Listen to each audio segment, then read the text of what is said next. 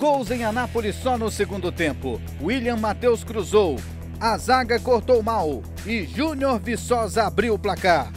Três minutos do segundo tempo, Goiás 1, Grêmio Anápolis 0. Pouco depois, o Verdão quase chega ao segundo gol nessa cobrança de falta. Quando o Goiás conduzia o jogo com tranquilidade, o time foi surpreendido. Aos 14 minutos, Sandrinho empatou o jogo. Goiás 1, Grêmio Anápolis também 1. Mais seis minutos depois, William Matheus fez o cruzamento e Eduardo Sacha fez o gol.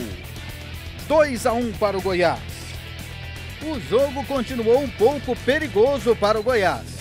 Tranquilidade no placar somente aos 38 minutos do segundo tempo. William Matheus fez o passe e Ramon, com categoria, fez o gol da vitória do Goiás.